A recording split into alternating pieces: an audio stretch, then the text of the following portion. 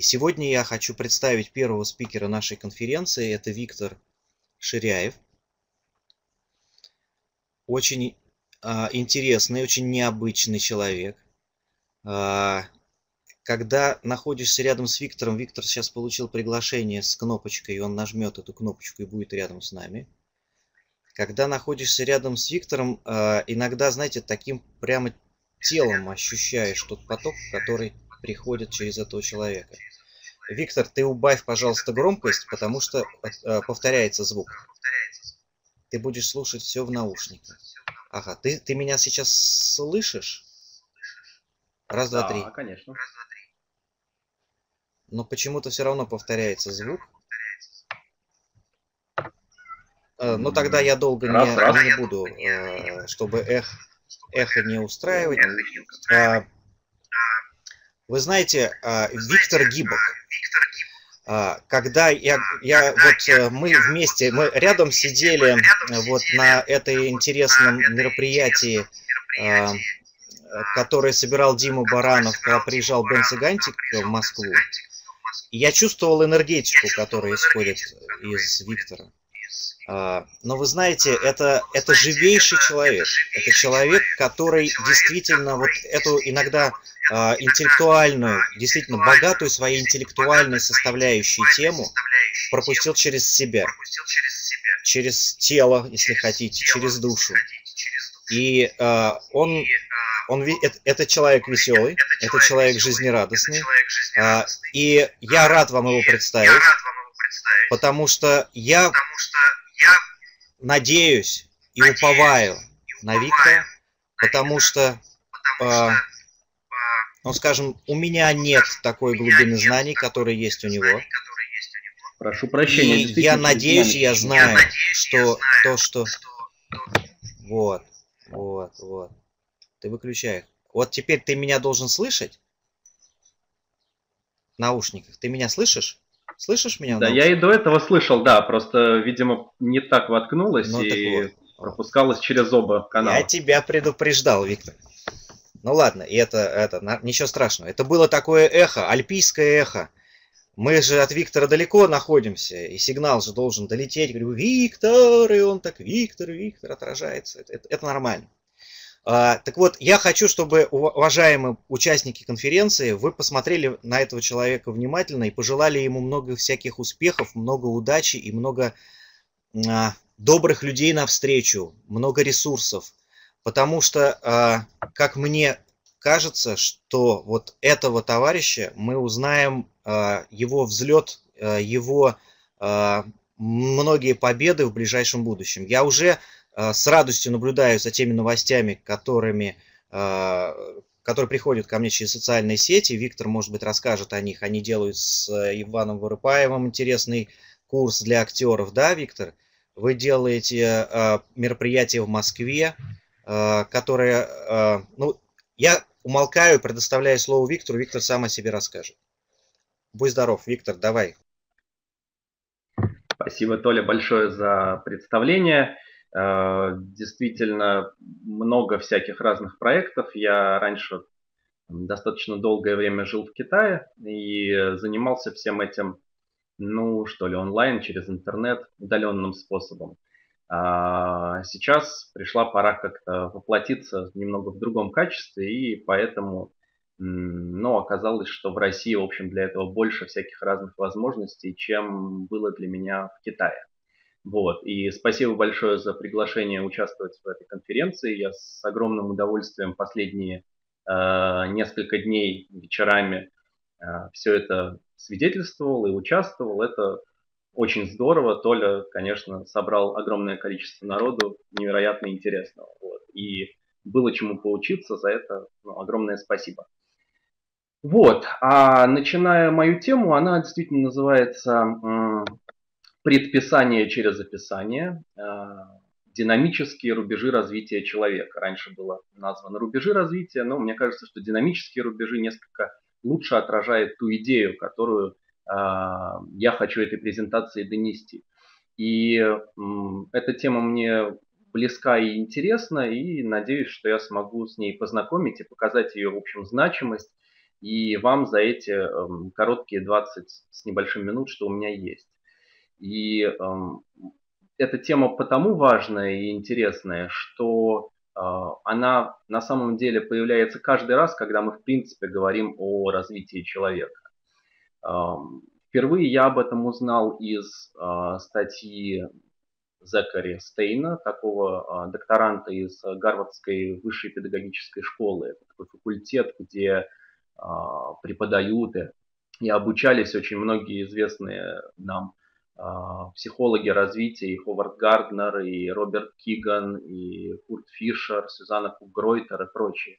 И а, Зак выступил с этой темой на э, интегральной конференции в 2010 году. И после этого написал статью, я эту статью даже перевел, и потом в конце своего выступления я дам на нее ссылку, потому что мне кажется, что но это правда очень интересно. Вот. Я же говорю несколько показательный с этой темой, но тем не менее изначальный толчок был вот дан этой статьей. И э, чтобы не откладывать значит, это дело в долгий ящик, давайте перейдем к первому слайду. Прошу прощения за примитивность моей презентации, но тем не менее.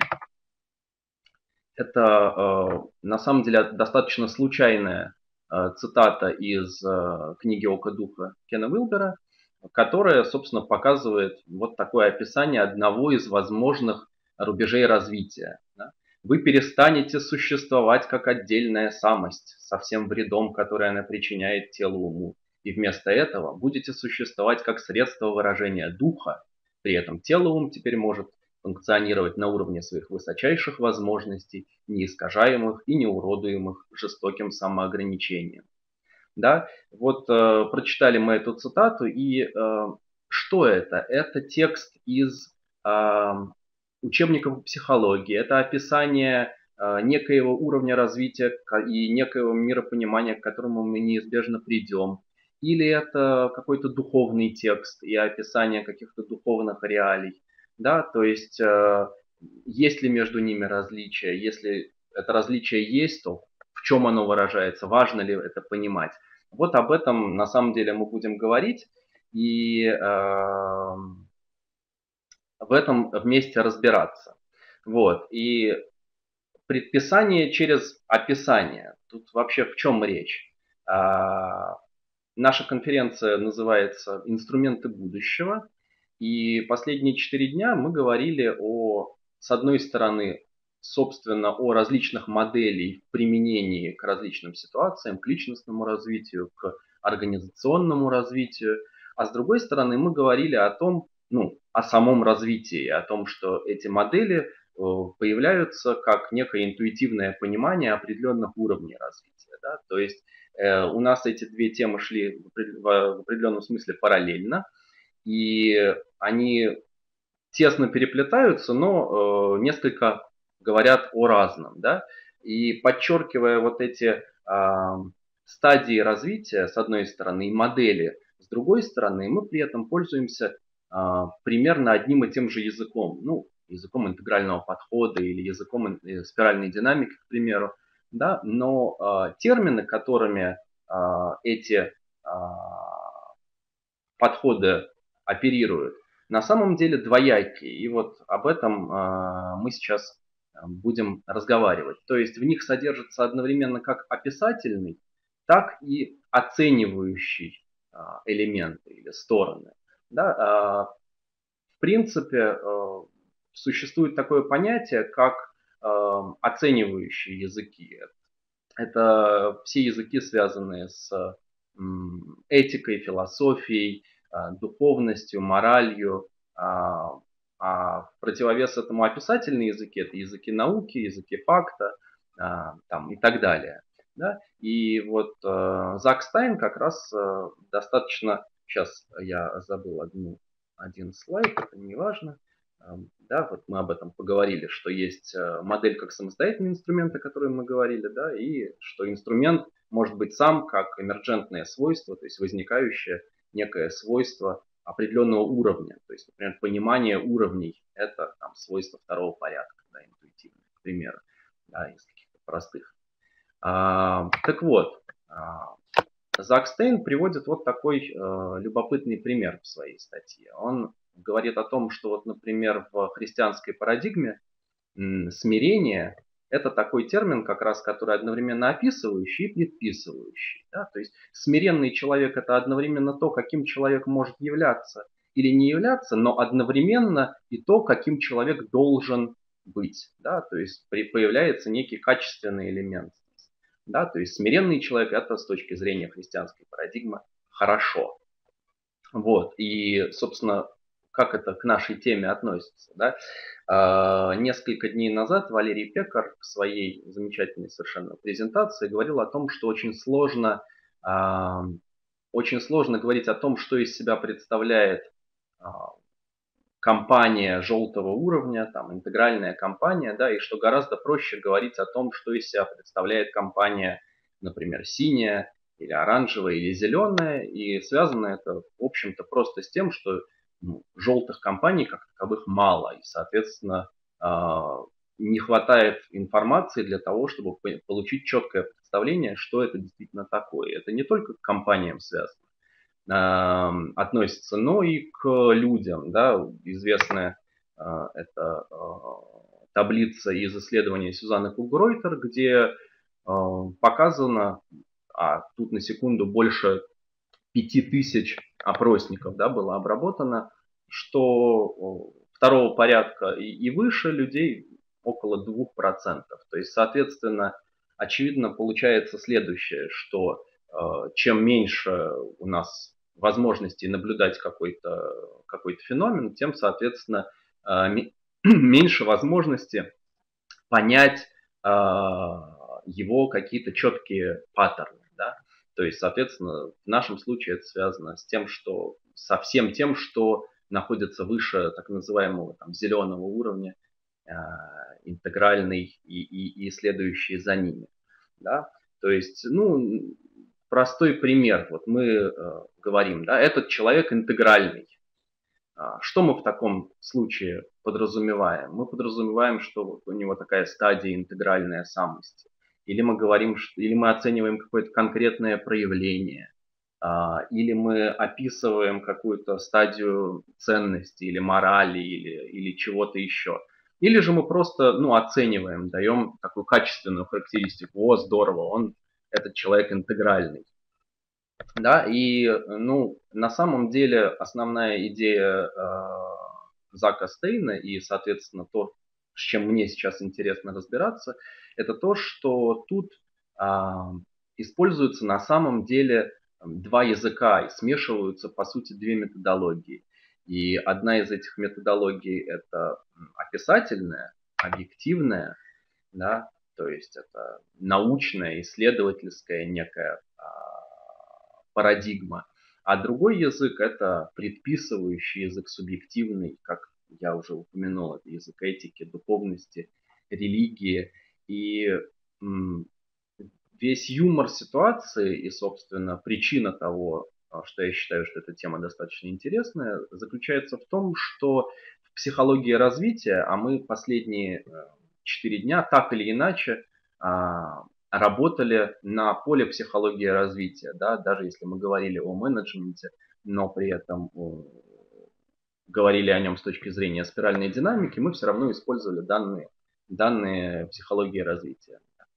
И э, получается, что в, у исследователей человеческого развития вот эти два языка смешиваются. То есть описательный и предписывающий языки смешиваются, и они тем более смешиваются, чем, чем сложнее становится описывать какой-то феномен. То есть в нашем случае, чем дальше и чем э, глубже эти уровни человеческого развития, чем они ближе к рубежам, да, тем хрен в сторону а, предписывающего, оценивающего языка становится выше, и тем а, его а, описывающая сторона становится а, меньше. Мы потом посмотрим это на живом примере. Вот. И а, на самом деле смысл не в том, что это что-то плохое, наоборот, это огромный потенциал. Да, но это просто на самом деле то, как мы взаимодействуем с миром и как мы его познаем. И тут действует такой принцип обратно связанной динамики, а, то есть это, как можно сказать, диалектический такой принцип познания. То есть исследователи описывают то, что они встречают. Исследователи изнутри или исследователи снаружи да, описывают какой-то феномен, который они встречают, пускай очень расплывчато. Мы его понимаем. А, мы еще не живем через этот уровень, который они описывают, но мы его понимаем. Он таким образом для нас становится вот э, той самой картинкой на коробке с пазлом, о, которых, о которой э, Мария с Александрой говорили вчера или позавчера. Вот у меня тут такая есть картинка э, в диалоге с ними. Да, и даже если в этой картинке есть какие-то лакуны, то есть не хватает э, каких-то элементов в описании, наше сознание все равно может, э, умеет ну, достроить недостающие элементы и использует эту картинку как э, то, к чему можно дальше двигаться. И, соответственно, вот я выше тут пририсовал, что эпистемология и антология обратно информируют друг друга, то есть исследователи описывают какой-то следующий уровень, э, он нам еще недоступный, но становится как бы предписанием по его достижению. Через актуализацию этого предписания мы его по новой описываем, что, становится, что усиливает предписание и так далее. То есть формируется такая космическая привычка, то, что называется у э, Кена Уилбера. Если кто-то не знаком с э, этим термином, космическая привычка это, ну, это просто означает постепенное увеличение вероятности э, того, что то или иное событие произойдет при соответствующих э, обстоятельствах. То есть, грубо говоря, если мы приходим в лес и сперва ну, непонятно, где идти, все э, трава до бурьян до, до, до деревья, а потом вдруг видим тропку, чем больше людей по этой тропке пройдет, тем больше вероятность, что человек, который а, придет в этот лес, эту тропку увидит. Да? То есть формируется космическая привычка. Это связано и с тропкой в лесу, и это точно так же связано и с уровнями развития. И, а, соответственно, чтобы привести простой пример, вот из Сюзанны Кубройтер, из ее достаточно известной на русском пространстве статьи «9 уровней развития», а, цитата, которая описывает э, самый продвинутый или самый, так сказать, глубокий уровень в ее модели, Э, уровень ирониста, да, то есть э, у Левенджера, в которой она училась, был один уровень, уровень назывался он а, интегрированный. А, а Сюзанна дальнейшими исследованиями разбила этот уровень еще на два, и один конструкт сознающий, а второй вот этот самый а, иронист или объединяющий. И вот его а, кусочки его описания. Объединяющая стадия представляет собой абсолютно иной способ восприятия человеческого существования и сознания. Здесь трансформируется предшествующий взгляд на реальность исключительно с точки зрения «я» и посредством языка. Новая парадигма обладает универсальной или космической перспективой. Объединяющие индивидуумы переживают себя и других как часть непрерывного человечества – вплетенного в творческое основание, исполняющего эволюционное предназначение. Интегрируются два полюса парадокса Паскаля, чувство принадлежности и чувство отделенности и уникальности, переживаются без ненужного напряжения, как изменение восприятия множества возможностей бытия. Эти люди, иронисты, могут вставать на различные точки зрения, смещать фокус внимания между различными состояниями сознания без усилий. Они чувствуют себя укорененными в природе, рождение, рост и смерть, радость и боль видятся естественными событиями, модусами изменения в потоке жизни. Ну, а, вот я тут выписал кратенько то, что я назвал зацепками, да, то есть э, а, в таком описании неизбежно присутствуют а, качественные вещи, да, то есть когда мы читаем абсолютно иной способ восприятия, универсальная перспектива, космическая перспектива, эволюционное предназначение, интегрируются два полюса парадокса. Это все происходит без усилий, без ненужного напряжения, через укоренение в природе. То, что мы читаем, исследовательский текст э, психолога, описывающий какую-то конкретную стадию, или это уже какой-то духовный, мистический текст, Да, то есть статья начиналась с, у Сюзанны с таблицы, с процентов, с чисел, да, а заканчивается она вот таким описанием. И почему это важно это замечать? Вот в статье у Зака Стейна приводятся слова Юргена Хабермаса, очень э, известного немецкого философа, о том, что, я сейчас зачитаю, а, те, кто являются производителями знания в сфере гуманитарных наук, должны осознать тот факт, что создаваемые ими научные языки становятся доступными ресурсами конструирования идентификации. И, разумеется, это тем более относится к а, языку психологов, психологов развития, которые вот описывают такие полумистические стадии. То есть я, например, читаю эту статью, я идентифицирую, или спиральной, книгу спиральной динамики, я идентифицирую себя с определенным уровнем. Дальше я читаю о следующих уровнях, и одновременно то, что я читаю описание этих уровней, как кажется психологам развития, да, которые, как вот мы выше говорили, зачастую не понимают разницу. Точнее, ну, не то, что не понимают, как бы не, не считают важным э, отследить это, это, эту разницу перед описанием и предписанием, да, и то, что автоматически, по словам Фабермаса, любое описание такое а, в рамках научной парадигмы, ну, естественно, физических законов это одно, да, но, а, но вот таких, например, психологических реалий а, высоких сложных а, порядков сознания, это совсем другое. Да? И, соответственно, я получаю через это некие ориентирующие указатели о том, что же мне а, потом в ходе своего развития ожидать. И важный момент тут, собственно, в чем? Да, они совершенно справедливо, то ли они их создают в процессе описания, а мы их со-создаем да, в процессе актуализации этих описаний. То есть это и есть то самое а, а, предписание через описание. И, соответственно, основной месседж, который я хотел всей этой а, штукой донести, это что просто давайте стараться не забывать, что интегральная компания, интегральный человек или там, человек второго порядка, желтая компания, это не столько описание, то есть Э, не столько то, какими они будут, когда пройдут там, через свой зеленый уровень, все предыдущие, но то, какими они могут быть, какими мы хотим, чтобы они были, э, и считаем, что даже должны быть, потому что мы говорим здесь о э, инструментах будущего, и Толя так начинал это, это наше нынешнее сегодняшнее заседание, что а, в общем, мы собрались здесь потому, что считаем, что эти инструменты адекватно будут, а, будут адекватными, единственно, возможно, адекватными инструментами для взаимодействия с вызовами а, будущего и вызовами настоящего.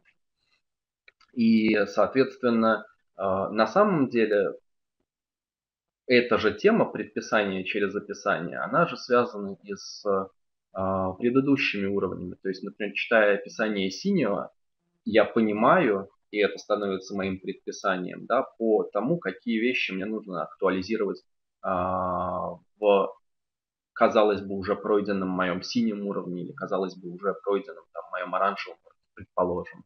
Да? А важно это потому, что, как мы знаем, а, чем выше карабкаемся, тем, тем важнее становится а, мощный фундамент и если в этом фундаменте не хватает каких-то э, кирпичей, то прежде чем карабкаться выше, их нужно, разумеется, туда положить. И, соответственно, эта самая тема предписания через описание, она работает и для э, более низких уровней. И, ну, это уже, в общем, другая тема для другого выступления. Вот здесь я хотел больше коснуться именно вот этих самых рубежей человеческого развития и динамических рубежей, потому что каждая как вот мы смотрели на одном из предыдущих слайдов, эпистемология обратно информируется с а, антологией, и, соответственно, это соконструирование, оно каждый раз продвигает самые рубежи все дальше, как только космическая привычка оказывается а, чуть более а, укоренившейся. Да? И закончить я хотел бы тоже цитаты из Кена Вилбера. Это самое начало книги око духа. Мы движемся от части к целому и опять назад. И в этом танце постижения, в этом поразительном круге понимания пробуждаемся к смыслу, ценности и видению. Сам круг понимания направляет наш путь, связывая воедино кусочки, затягивая разрывы, исправляя разрушенные и искаженные фрагменты и освещая дальнейший путь. Это удивительное движение от части к целому и обратно, в котором каждый шаг отмечен печатью исцеления и благословлением награды. Спасибо. Вот, а, это все, о чем я хотел сегодня с вами поговорить. И, соответственно, если есть какие-то вопросы, то, соответственно... Вопросы, да. то, соответственно... Да, с удовольствием обсудим, да, уважаемые. время. А, если есть вопросы, пожалуйста, к Виктору. Я от себя несколько слов хочу сказать. А, Виктор, мне кажется, что вот я сейчас что-то понял очень важное. Вот благодаря тебе. Ну, во-первых, просто это означает, что интегрального дискурса должно быть больше. А, и по мере того, как его будет больше, он будет становиться все качественнее и качественнее. Именно потому, что люди будут примерять на себя вот именно этот подход к анализу вещей, а, они будут требовать от себя более качественного мышления, они будут требовать этого мышления от других, и, и именно поэтому оно упрочится, будут, возникнет некие новые какие-то парадигмы, которые по своей природе будут еще более, может быть, полезнее, качественнее, всеобъемлющими, чем то, что мы сейчас называем там, интегральным подходом и так далее. И, ну, э, э, и вот э, тема воды на мельницу, которая возникала как метафора несколько дней назад, она продолжает метафорически присутствовать в наших выступлениях. И описывая интегральный подход, мы создаем внутри людей этот интегральный подход. И я, конечно же, да, я написал в комментариях, то есть я учился у Михаила Романовича Гинзбурга, я учился эриксонскому гипнозу, я знаю буквально вот именно как влияют человеческие слова на создание внутри у нас тех или иных аспектов реальности, да, то есть, ну, грубо говоря, то есть если мы сейчас говорим о, о белой кошке, да, то э, так или иначе у нас возникнет в голове белая кошка, хотя бы просто для того, чтобы понять, элементарно понять, э, вот, чего ты, да? да. Хорошо, вопросы. Гипнотизирую. К Виктору. А, да-да-да. Э, вопросы к Виктору, да, вопросы хотел... к Виктору. Угу. Хотел сказать, что да, действительно, э, в общем, ты прав. То есть, то есть, если мы считаем а, что интегральный подход, а, спиральная динамика и прочие инструменты это ценные инструменты, то есть мы в них вкладываем ценность и считаем, что это, в общем, предписание для нашего поведения и предписание для во многом для там, мира будущего с его сложностями, вызовами и диалектикой развития, где э, проблемы одного уровня можно решить только инструментами следующего уровня, да, то тогда действительно этого должно становиться больше, чтобы космическая эта привычка укоренялась. Это совершенно так, я с этим полностью согласен и буду э, над этим работать. И я хочу вспомнить, почему-то мне прямо сейчас пришла в голову метафора, э, ну, э, кусочек из Виктора Пелевина, а я э, учился когда-то, и у того же Михаила Романовича, кстати, доверять своему бессознательному. Я хочу эту метафору вам сказать, пока не знаю даже зачем. Э, в жизни насекомых у Виктора Пелевина, по-моему, если я не ошибаюсь, может быть, в какой-то другой книге есть такая, такая сентенция, когда, значит, там двое разговаривают, и один э, от другого спрашивает, ну скажи, чей свет отражает Луна? Он говорит, Луна отражает свет Солнца, это всем известно. А чей свет отражает Солнце? И вот на этой лирической ноте, оставляя нас в том, чтобы мы подумали, кто здесь, как, кому, зачем и почему светит, и в чьем сознании, собственно говоря, все это отражается, множится, становится ярче, красивее, интереснее, богаче, свободнее, легче, труднее, мудрее, тяжелее и так далее. Как это все трансформируется, усложняется и умножается, на этом, на этой ноте я хочу сказать огромное спасибо Виктору. Я буду рад видеть его еще, еще, еще, еще. А, Виктор, а, будь здоров. Вот а, Бог тебе в помощь, чтобы все у тебя было хорошо. Спасибо. Будь здоров. Спасибо. До свидания.